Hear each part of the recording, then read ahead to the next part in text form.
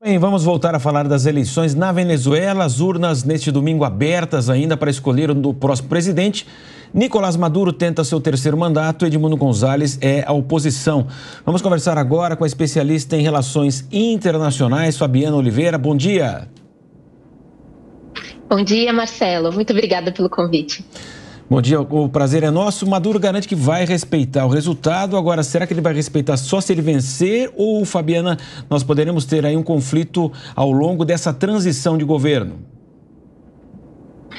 Essa é a expectativa de fato, né? Essas eleições que estão sendo disputadas hoje são as eleições mais importantes da história recente da Venezuela. É, muitas perguntas estão todavia aberto, né? Então, é, o que, que acontece, né, se o Maduro perder essas eleições? A gente ainda tem um, um certo tempo, né, até a, o início do novo governo, que seria só em janeiro de 2025, e aí muita coisa ainda poderia acontecer, né? Um, de fato, o que a gente observa até aqui é um processo eleitoral um pouco, um, um pouco difícil, né? Com algumas denúncias de irregularidades, mas ainda assim a oposição insistindo que é, tem apoio popular suficiente para disputar essas eleições, apesar dessas dificuldades, né? Um, o que a gente se questiona realmente é em que, em que condições um, uh, qualquer um dos resultados vai se desenvolver a partir de agora. Porque se o Maduro vence, do que aparentemente seria uma chance menor, né, ele teria uma chance pequena, se ele vence, ele recuperaria a legitimidade que ele parece estar buscando com esse processo eleitoral?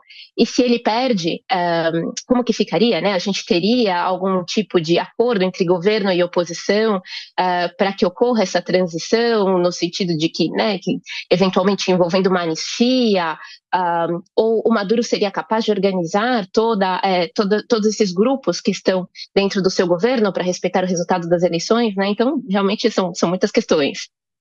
Resultado ainda propriamente dito, a gente fica aqui especulando, né, pensando em possibilidades. Mas as últimas pesquisas eleitorais mostram o candidato da oposição na frente, né? E numa eventual derrota de Maduro, por exemplo, qual seria o receio? Ele diz que vai é, respeitar o resultado, né? Mas além de outros aspectos, existe também a possibilidade dessa contestação com apoio militar. Ele diz que não, né? Mas a gente não sabe, né? Nessas possibilidades, qual que é a visão da senhora? É de fato, né? Então são muitas as pesquisas que têm surgido nas últimas semanas, a maior parte delas indicando uma vitória até com folga, né, uh, da oposição.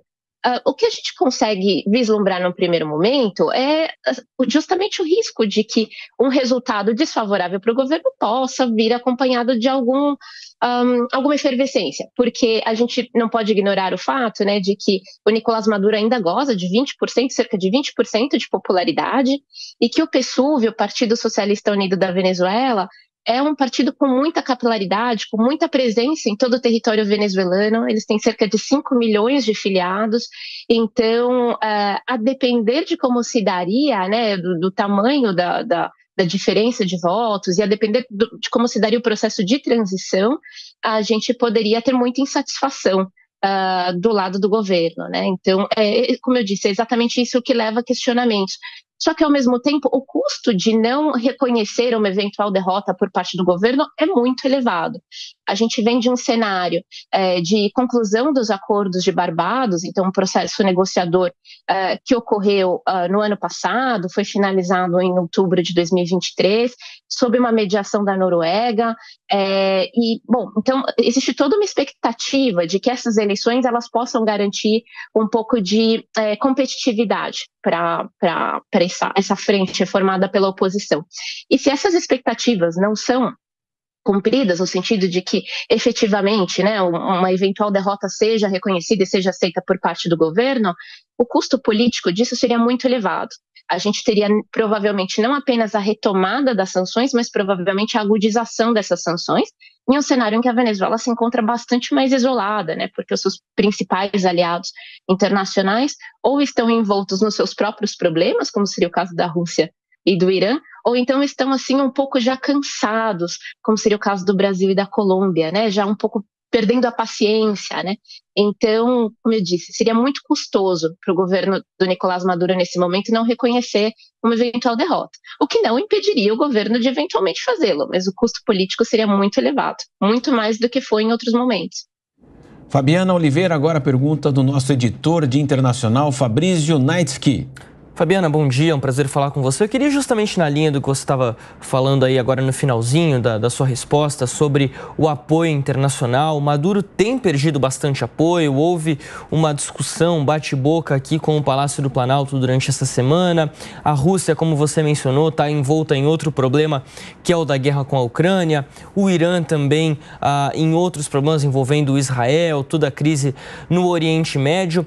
Qual é o tamanho, o peso dessa falta de de apoio para o governo Maduro, essa falta de apoio internacional. Ele consegue se sustentar sem esse apoio internacional? Olá, Fabrício, bom dia. Obrigada pela pergunta. É, seria muito mais difícil a situação, né? Então, a, a Venezuela ela vem assistindo assim uma, uma leve retomada da sua economia, mas isso se dá também em grande parte em razão é, do fato de que a Venezuela não perdeu algumas dessas alianças estratégicas ao longo do tempo. Né? Ao contrário, essas alianças foram se fortalecendo, como com a China, com a Turquia, por exemplo. Então, o que a gente observa nesse momento é a manutenção dos vínculos entre o governo do Nicolás Maduro com o governo chinês. Recentemente foi até anunciado um novo acordo de cooperação e tudo mais. Então, é, isso se mantém. Uh, mas, por outro lado, como eu havia citado, essas outras, uh, esses outros aliados importantes eles estão muito mais ocupados agora com outras questões. Continuam demonstrando solidariedade e simpatia ao governo do Nicolás Maduro, inclusive enviando observadores para, para esse, esse pleito, né, para essas eleições. Um, mas é, é, um cenário muito mais complexo, né, de fato, diferente do que nós havíamos visto, por exemplo, em 2018, quando a oposição venezuelana decidiu não disputar as eleições. Uh, a Venezuela ainda contava com alguns uh, países aqui na América Latina, então existia a Bolívia, que era, se mostrava muito mais solidária, existia, por exemplo, é, a gente pode falar da, da, Nicarágua, que não estava tão isolada ainda também naquele momento.